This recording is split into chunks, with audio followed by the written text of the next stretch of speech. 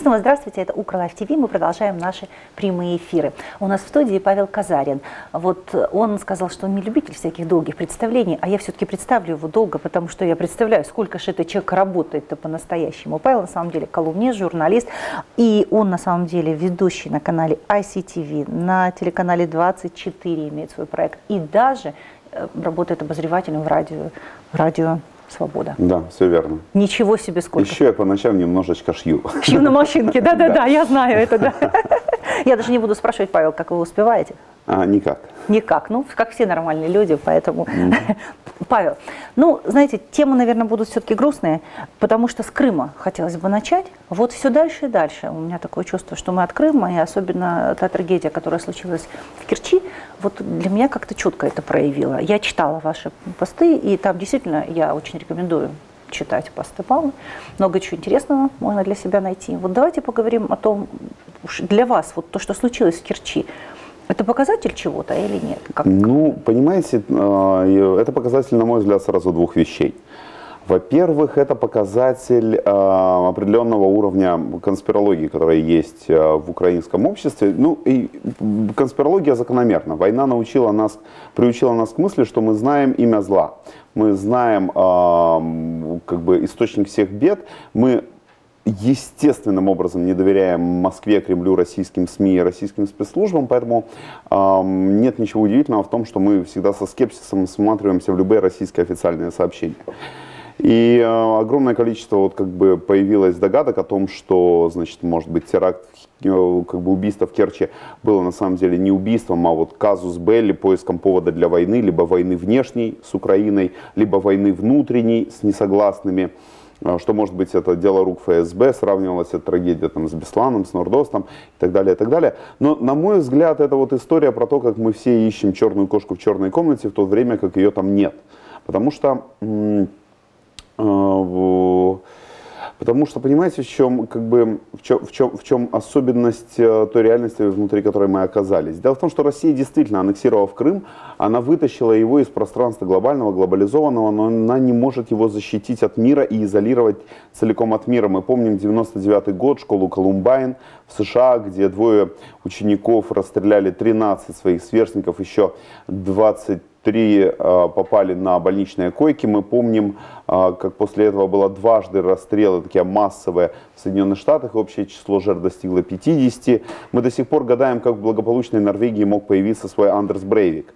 И в этом смысле мы все время дискутируем о буллинге, о школьном насилии, о подростковом насилии. Но нужно признать, от этой реальности не застрахована сегодня ни одна страна и в том числе и наша. И не дай бог, э, конечно, чтобы у нас в Украине нечто подобное повторилось, но повторюсь, от этого не застрахована ни одна страна, в том числе э, даже самая благополучная, пример Брейвика это доказал. И, э, на мой взгляд, то, что произошло в Керчи, это история вот действительно про такой вот крымский Колумбайн. Даже парень, который вот шел убивать своих сверстников, он даже одевался так стилизованно, немножечко косплея, если угодно, своих прототипов из э, американских школ которые точно так же вот э, положили эту печальную традицию там, школьного насилия. Вот. Эм, и это один важный момент, который вот как бы проявила а, вся эта история, вот эта волна конспирологии. Кстати, волна конспирологии была и по ту сторону границы. Там говорили, что во всем, значит, повинен, повинен Запад, потому что вот школьные расстрелы, потому что вот, значит, это они как бы насаждают нам всю эту новомодную трагическую моду и так далее, и так далее. Ну, там тоже, в общем, не все в порядке с логикой. Вот. Ну и вторая важная тенденция, которую проявила трагедия в Керчи, она связана с тем, что у нас ведь э, траур по э, погибшим объявила только Тернопольская область. Президент и Верховная Рада, конечно, высказывали соболезнования, но до общенационального траура дело не дошло. И все ограничилось, на самом деле, хайпом в социальных сетях, потому что когда кто-то писал о том, что а где траур, собственно, погибли украинские граждане, кто-то приходил и писал, а вот не заслуживают они, значит, траура. Ну, во-первых, я хочу напомнить, что погибшим в Керчи на момент аннексии Крыма было 12-13 лет, и, разумеется, ни на какой референдум эти школьники не ходили, и ни на какие митинги не ходили. и как бы пытаться возложить на них вину за а, как бы произошедшее а, в 2014 году, это, ну, это, это, это даже безответственностью назвать нельзя, это просто подлость какая-то. Вот. А с другой стороны, понимаете, тут нужно четко определиться. Либо на оккупированных территориях живут заложники аннексии, которые заслуживают, ну, среди которых есть, безусловно, коллаборационисты, но в целом заложники аннексии, которые заслуживают нашего сочувствия.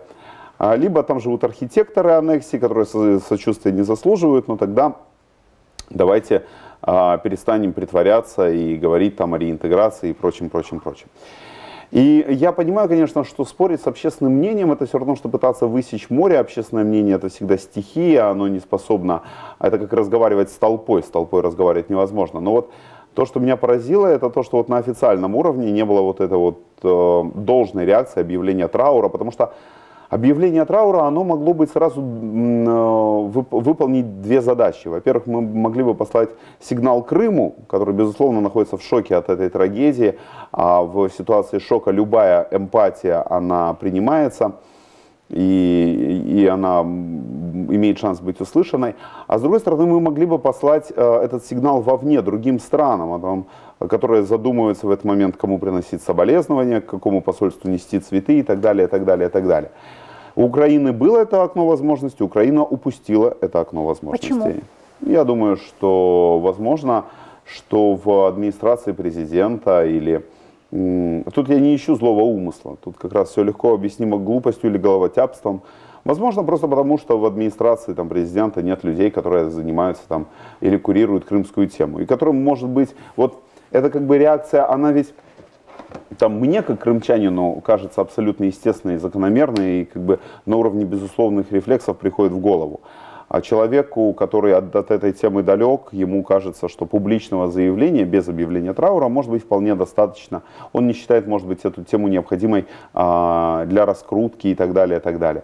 Тут же еще нужно понимать, вот почему у нас Донбасс и тема Донбасса так часто, среди прочего, звучит в политических программах кандидатов в президенты, а, действующих политиков, лидеров фракций и так далее. Потому что с Донбасса, э, число переселенцев с Донбасса на неоккупированном материке составляет там больше миллиона человек. Это важный электоральный ресурс, это люди, которые ходят на выборы. А, и включая тему Донбасса в свои программы, ты как бы в том числе а, имеешь шанс привлечь этих людей как бы под свои знамена.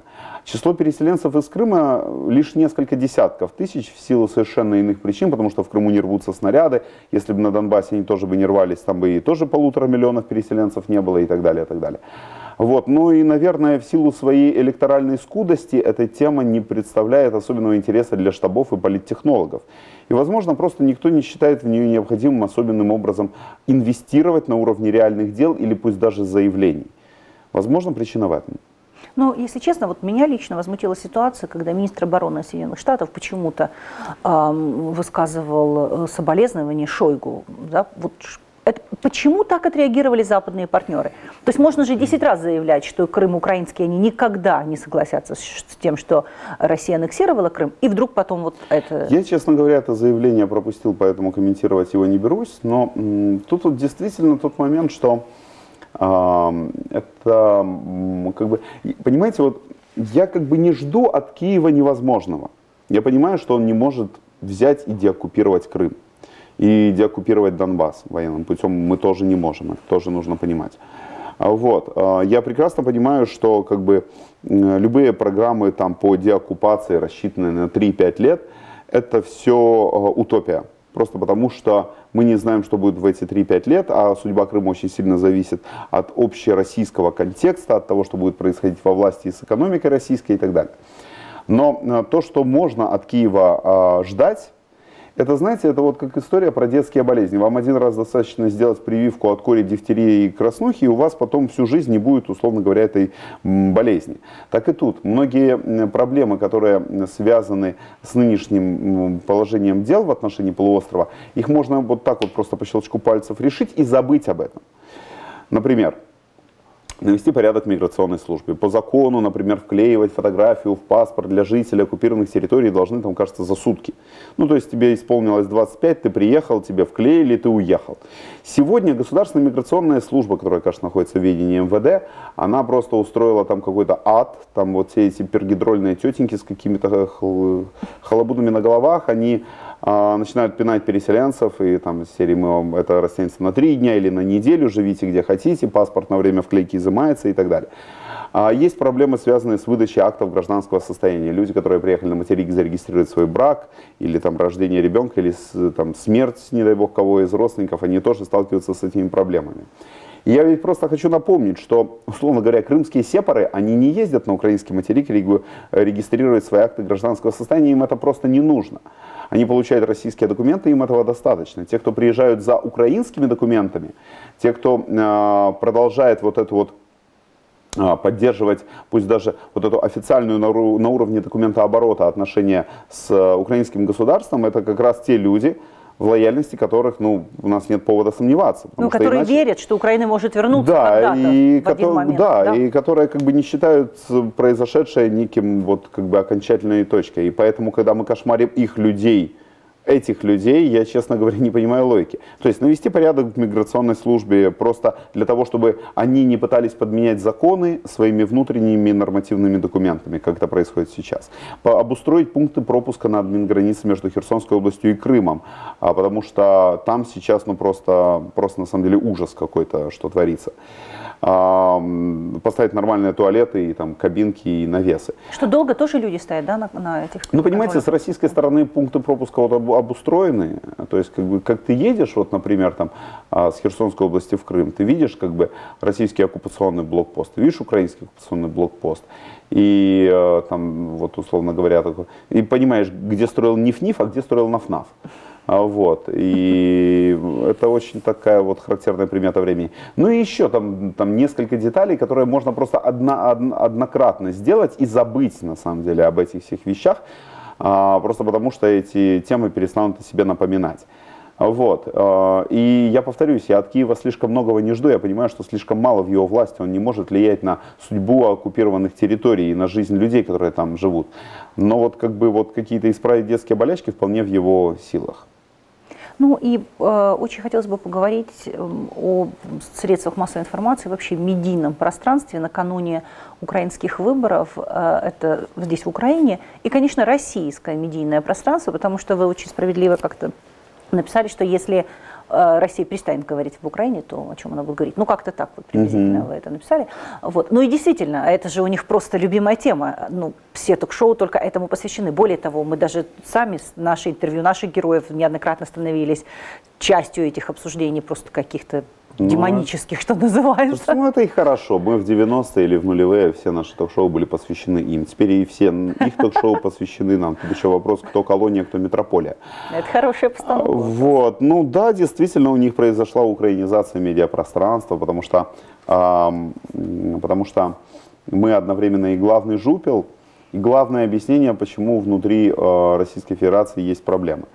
Вот, и э, если бы нас не было, им пришлось бы нас придумывать.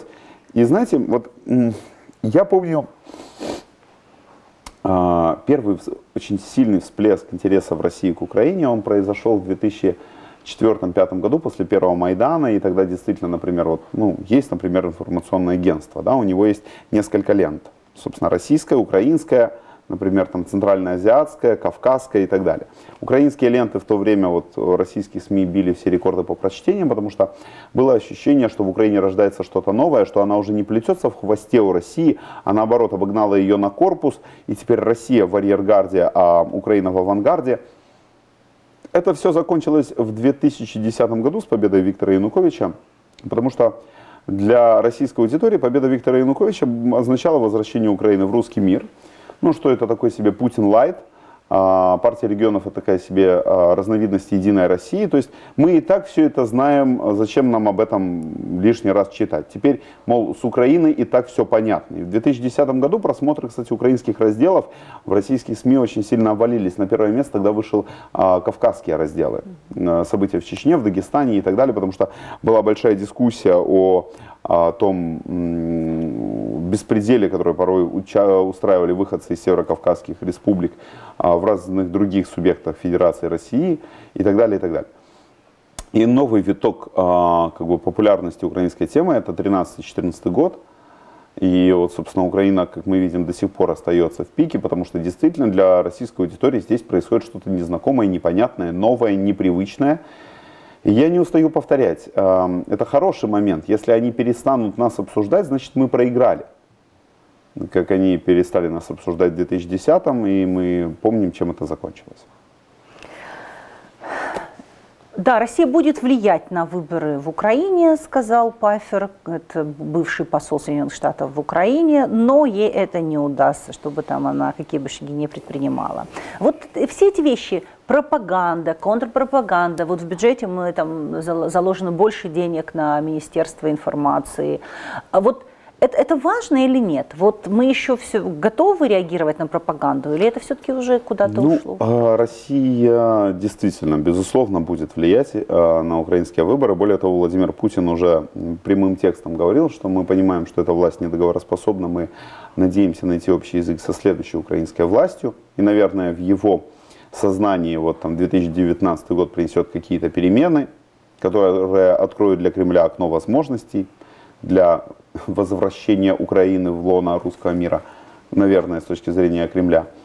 Ну вот, а, но влиять она, безусловно, будет. Причем она будет влиять как через какие-то маргинальные партии, какие-то всякие разумно сылы и так далее, и так далее, так и через своих традиционных посипак и вроде там, там Апоблока и, и, и всего прочего, и Виктора Медведчука. Ну, тут понимаете, в чем штука? На президентских выборах, понятно, пророссийский ставленник победить сегодня не может. Просто чисто количественно нету голосов э, с юга, нету голосов с востока для того, чтобы вывести этого человека триумфаторы. Во второй тур он еще теоретически может выйти, какой-нибудь э, так, объединительный кандидат от пророссийских сил, но победить не может. Это цифры. И это тоже как бы то, что сильно нас отличает от 2010 и вообще от довоенной Украины. А вот на парламентских а, выборах собрать там хороший электоральный урожай а пророссийские партии они могут. Я не знаю, там 100 мандатов, может быть 150, может даже больше. Ого! Вот, а кто же за них проголосует? Юго-Восток, что Ну да, у нас же еще мажоритарка есть. Мы а должны не забывать, что очень многие люди будут проходить по прикормленным округам. И а, в, поэтому, с одной стороны, а, как бы понимаете, вот в чем штука. То есть, как бы Россия своими действиями, с одной стороны, добилась того, что теперь пророссийский кандидат на президентских выборах в лучшем случае способен быть спарринг-партнером, но не реальным претендентом на президентский пост. На парламентских, да, у них э, амбиции, э, амбиций и возможностей больше – но я просто повторяю раз за разом. Сегодня главный выбор Украины, который нам предстоит делать, это выбор между реалистами и популистами. Это главный выбор предстоящей предвыборной президентской кампании. Вот, и главный а, в значительной степени выбор парламентской кампании. И ну, если, э, украинские популисты, они действительно украинские, они там очень много говорят патриотичных вещей, очень, э, очень резких э, заявлений в адрес Кремля, но это не отменяет их опасности для страны, потому что если вы выбираете популиста какого-нибудь Угачаваса Никола, Николаса Мадура, и он уничтожает вашу экономику, он а, делает такие шаги, что от вас отворачиваются международные доноры в виде там МВФ, Мирового банка, Еврокомиссии и так далее, и так далее, то ваша страна в конечном счете просто ослабеет достаточно, чтобы агрессор ее смог проглотить. И в этом смысле как бы а, такой безумный, безудержный украинский политический популизм, он не менее вредит, чем сознательные а, пророссийские адвокаты. Поэтому я бы вот этого фактора тоже не недооценивал. Павел, ну и вот еще один фактор, который вдруг появился в нашей жизни и все заполонил фактически, это, конечно, автокефальная украинская церковь и получение Томаса. И я помню еще вот были некоторые опросы на улицах, когда у людей спрашивали, вам нужен Томас, вы знаете, что такое? Люди вообще спрашивали, а кто это такой? Вот mm. до этого доходило. Но сейчас, мне кажется, уже полстраны понимает, о чем идет речь, и зачем это нужно, и почему. Скажите, почему в современном вдруг мире, э, в государстве, которое является светским, ну и мы светское государство, Россия светское государство, ну и вообще практически mm-hmm. государства светские. Вдруг вот церковная тема стала такой важной. И как вы для себя, как журналист, как колумнист, как человек, который анализирует ситуацию, как вы думаете, какие, какое развитие событий может быть именно здесь? Может ли это привести к каким-то, я не знаю, там, гражданским непониманием, я бы так сказала? Ну, в данном случае мы же спорим на самом деле не, а, не особенно о церковном когда мы говорим о Томасе, об украинской автокефалии, об украинской церкви и об РПЦ. Мы спорим об общественных институтах. Потому что э, любую церковь можно измерить в нескольких, соответственно, э, в нескольких э, можно померить в нескольких измерениях. То есть, с одной стороны, церковь это, безусловно, невеста Христова и, условно говоря, проводник для верующего в, к Богу, а с другой стороны, безусловно, это социальный институт. Причем эта степень ее социальности, она в разных странах по-разному. Там, в Финляндии, например, там, лютеранская церковь, это вообще, по большому счету, большой профсоюз а, и армия спасения по, перерас, по перераспределению гуманитарной помощи. Вот. А в каких-то странах церковь в первую очередь сосредоточилась на своих, соответственно, церковных а, измерениях. А, но в любом случае люди э, для огромного количества, огромное количество людей в Украине, они называют себя атеистами Киевского патриархата. И их прекрасным образом можно понять, потому что действительно мы увидели, что УПЦ Московского патриархата это, не Украинская православная церковь, это абсолютно РПЦ. Мы видим, как, например, в моем родном оккупированном Крыму там митрополит Лазарь, кажется, или архиепископ, ну, не принципиально его церковный сан, который возглавлял крымскую епархию, прекрасным образом ручкается с оккупантами и произносит благостные речи, а по тюрьмам а, к политзаключенным бегает только а, архиепископ Климент, это представитель Крымской епархии Украинской церкви Киевского патриархата. А Лазарь на самом деле абсолютный конъюнктурщик, а, который прекрасным образом а, как а, сидит в этом новом оккупационном политбюро и даже не чешется. Не, ну для него-то все хорошо сложилось. Для него все, безусловно, да, э, хорошо все сложилось. Ну, поэтому давайте называть вещи своими именами. Российская православная церковь, у нее есть экзархат в Украине – до недавнего времени в этом экзархате были, безусловно, проукраински настроенные люди, которые не переходили в Киевский патриархат именно потому, что он, условно говоря, не был признан, потому что им не хотелось терять это дар евхаристического общения с другими православными церквями. Но как только Украинская поместная церковь на основе Томаса будет создана, они смогут прекрасным образом как бы, принять участие а, в церковной жизни внутри этой церкви а не внутри российского экзархата а, в Украине. И просто нужно будет называть вещи своими именами. Нужно будет называть, что это не УПЦ Московского патриархата, а это, э, это РПЦ, РПЦ в Украине.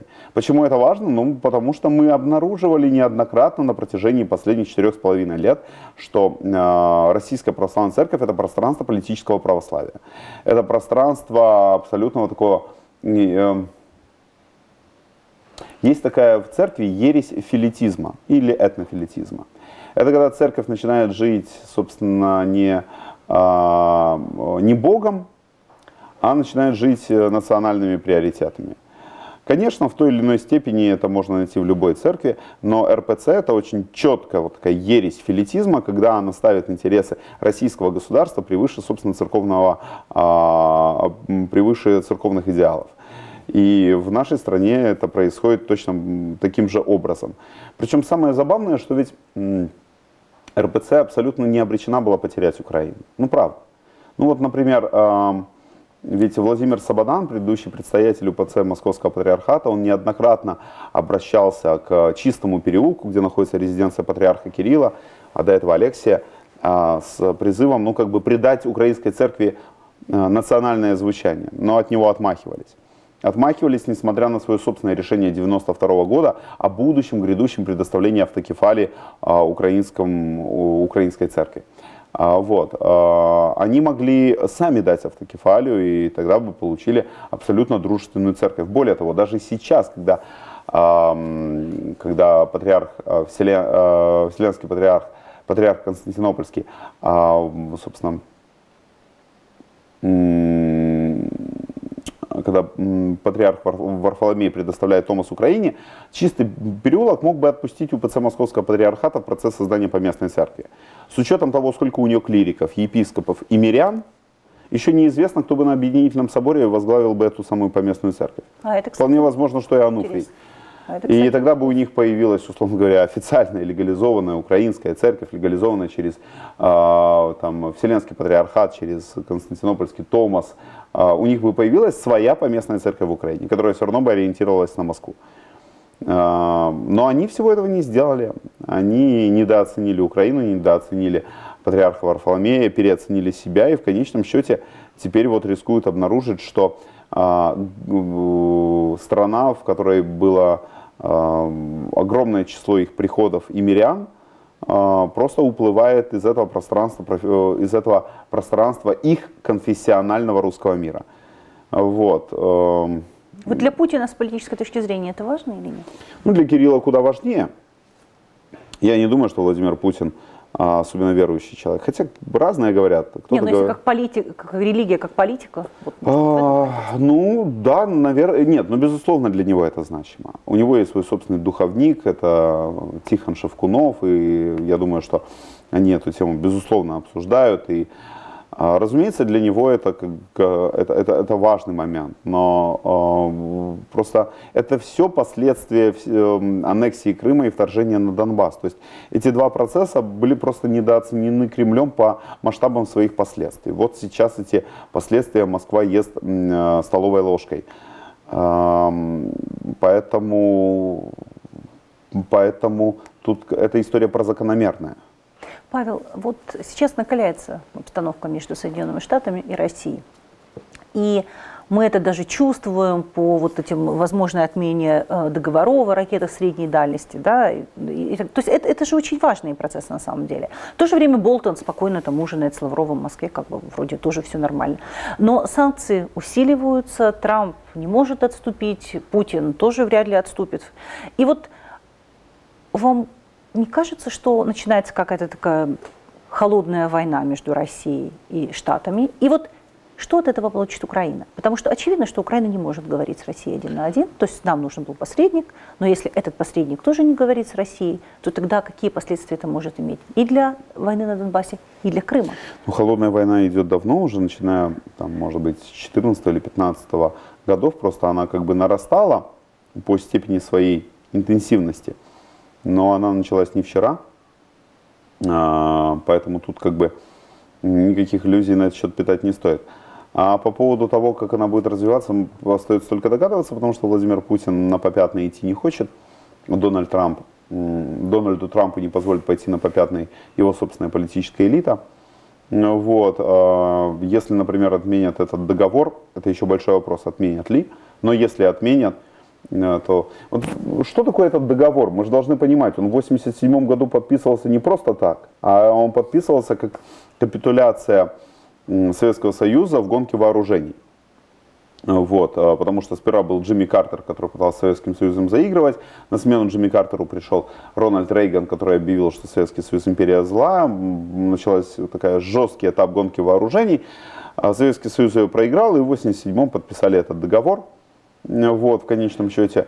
Если э, сегодня его отменят, то новая, старт новой гонки вооружений, ну, чья экономика будет в первую очередь под ударом? А, ну, безусловно, российская, потому что она меньше, она слабее, она неустойчивее. И просто Российская Федерация в очередной раз может э, надорваться на этом фронте. Ну вот. По поводу того, что условно говоря, время работает на нас или против нас, оно, безусловно, работает на нас по одной простой причине. В 2014-2015 году Украина, сломя голову, пыталась убедить, бегала по всем международным площадкам, пыталась объяснить Западу, что Владимир Путин объявил войну не нам, а он объявил войну всем, в том числе и вам. А Запад отмахивался и говорил, нет, ребята, это конкретно ваша российско-украинская война, мы тут ни при чем, даже, не может, немножко и ваша гражданская, если мы вспомним. Ну, например, да, страны. то есть да. Э, не, не втягивайте, мол, нас в это, и мы не хотим в этом участвовать. Вот мы санкциями вложились, но еще подумаем, продлевать ли, а уж тем более подумаем, усиливать ли. Но э, Российская Федерация за последние четыре с половиной года сделала все, чтобы убедить Запад, что нападение состоялось не на Украину, а на этот самый Запад. И это видно и по попыткам дестабилизации Черногории, и Македонии, и Прибалтики, и э, Солсбери, и Нидерланды, откуда тоже выслали российских шпионов, и кибератаки, и вмешательство в выборы, и так далее, и так далее, и так далее. И судя по тому, что эта эскалация не спадает, а только нарастает, и действия российских спецслужб по всему миру становятся только более активными, ну, в этом смысле Украина может как бы это, знаете, это, это можно просто вот сидеть на берегу реки и смотреть, как а, на противоположном берегу Российская Федерация занимается каким-то самоуничтожением. А, вот. А, поэтому в этом смысле конъюнктура ситуации на данный момент работает на нас. Конечно, мы живем в эпоху черных лебедей. Мы не знаем, откуда прилетит этот черный лебедь. Ну вот внезапно, там, например, решит западный мир там, наказать Саудовскую Аравию за убийство, а, зверское убийство журналиста. Или, например, наложить санкции. Или там ограничить покупку нефти. Вот. Разумеется, в этом смысле мы обнаружим выросшие котировки на черное золото и Россию, которая окажется в от подобной ситуации. Напротив, мы обнаружим какое-нибудь смягчение с Ближним Востоком или попытку Саудовской Аравии замириться со всем Западом, увеличить добычу нефти с тем, чтобы снизить цену на нефть. Мы обнаружим совершенно другие последствия. Поэтому э, четко, вот у нас нет рельс, на которые мы встали, по которым мы едем. А, это скорее история про поле, на котором можно идти в любую сторону и, как бы, и, и, и вытаптывать новые тропинки. Но говорить о том, что вот однозначно время работает против Украины, это было бы несправедливо. Павел, ну и последнее. Что мы должны знать о Крыме вот сегодня и точно помнить это, чтобы помнить, что Крым – это Украина. И вот не забывать объявлять траур, не, заби, не забывать, а, я не знаю, вот я смотрела, кстати, «Наше время», это вот канал, угу. который делает «Радио Свобода» на Россию, и меня просто шокировало, как э, Настоящее Россия... время. Наста... Да, настоящее время. Я просто была шокирована, как Россия в разных городах, люди несли цветы, люди несли игрушки и говорили, это же наши ребята погибли, Нет, ну, наши дети погибли. То, что я россияне несут, тут как раз никаких иллюзий нет, они живут в другой информационной реальности, их не в чем упрекнуть.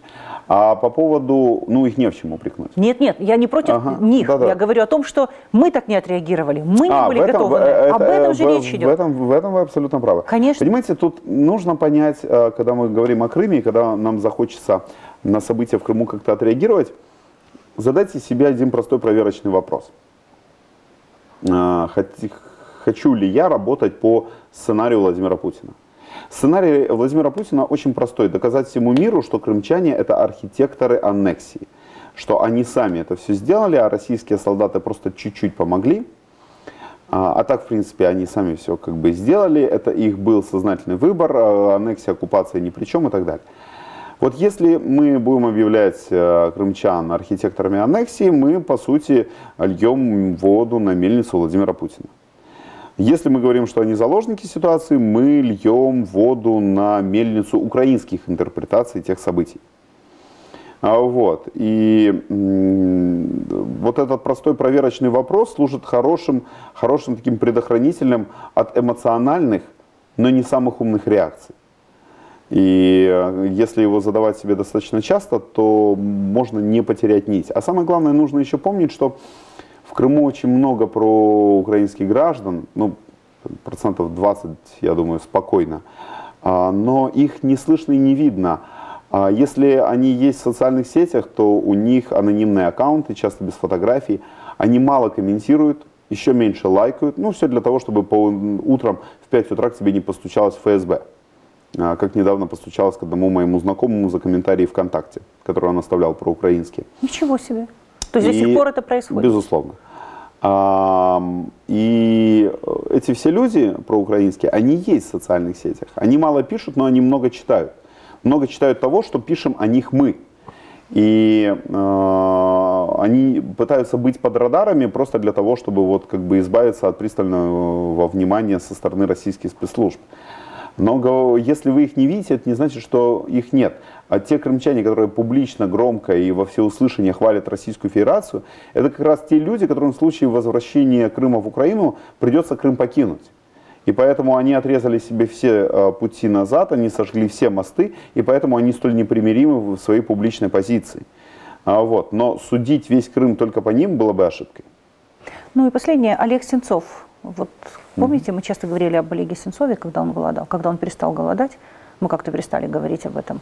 Вот, э, вот как вы думаете, что можно еще сегодня сделать для того, чтобы все-таки, я не знаю, помнить, вспоминать, помогать нашим политзаключенным в России? Ему, ну, его, им всем нужно писать письма, им всем а, ну, опять же, существует правило написания писем политзаключенным, потому что все эти письма проходят цензуру, и не стоит отправлять им много посылок, потому что, например, а, посылку политзаключенный по нормам российских тюрем может получать один раз, там, кажется, там, в месяц или два раза в месяц. То есть, условно говоря, вы отправите ему какую-то безделушку, а он получит ее, а на этом основании тюремщики не выдадут ему следующую посылку, в которой какие-то действительно важные вещи, там, не знаю, теплые носки и так далее. Поэтому не шлите абы что, потому что у, него нету, у них нет возможности получать бесконечное, неограниченное количество посылок.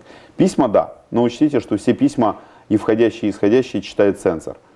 А, вот. А, и нужно понимать, что судьба Олега Сенцова, она на данный момент зависит не от Киева, а зависит от западных столиц. Могли бы они быть поактивнее, нет? Я все время говорю, что они могли быть поактивнее. Безусловно, могли, но даже самые главные, ну, ключи от э, камеры, в которой сидит Олег Сенцов, находятся в Кремле.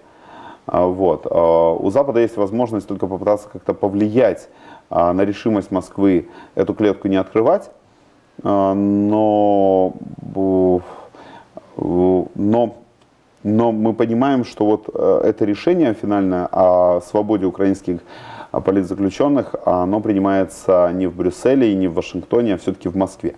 А для того, чтобы эта дискуссия в Москве шла относительно проще ли освободить или а, проще ли оставить их за решеткой, нужно, чтобы с ними а, разговаривали те самые Вашингтон и Брюссель. Поэтому действительно забывать не нужно, нужно э, эту тему поднимать раз за разом, потому что это вот как круги от камня, который брошен в воду. Они расходятся, расходятся, расходятся. В какой-то момент, возможно, это даст эффект. Но э, заниматься таким оптимистичным шапкозакидательством я бы тоже не стал. Павел Казарин был сегодня у нас в гостях. Павел, спасибо вам огромное. Спасибо, что выбрались к нам. Спасибо. А вы оставайтесь с нами. Это был Укрылаев ТВ. Спасибо.